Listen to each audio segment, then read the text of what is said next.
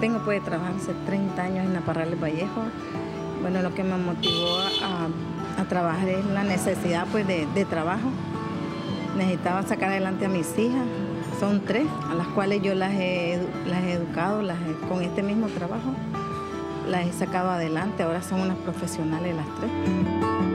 Esta es la historia de Fanny Lanusa, una mujer que desde muy joven se convirtió en madre soltera, viéndose obligada a trabajar duramente para sacar adelante a su familia sin importar los desvelos.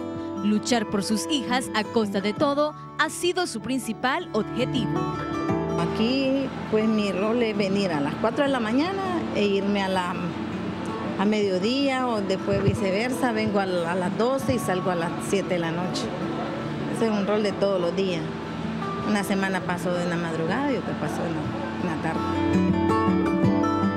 Compartir años de su vida trabajando en un sector no muy común para mujeres no ha sido obstáculo para dejar de luchar y seguir adelante.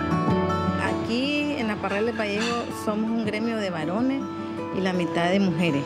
Todas son como 28 mujeres y el resto en varones. Trabajamos con socios y el gremio de, choferes, que son los que trabajan en, en los buses y ese es mi trabajo, pues despachar las unidades, darle, darle su rol a ellos, trabajan y, y, aquí hay un mutuo respeto entre todos, entre ellos y nosotros.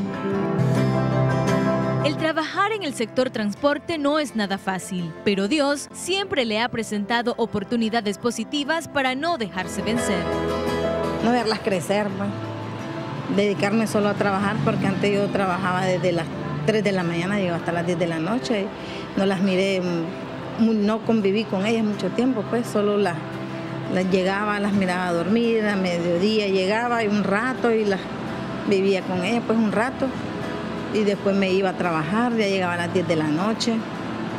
Ese era mi trabajo, pues andar trabajando en el bus pues como hombre, pues porque yo tuve una unidad y con esa unidad pues yo la saqué adelante para que ellas pudieran darles, llevarles la comida, poderles dar un poco de educación. La clave principal para seguir adelante sin temor a nada ha sido mantener hasta la fecha una actitud positiva.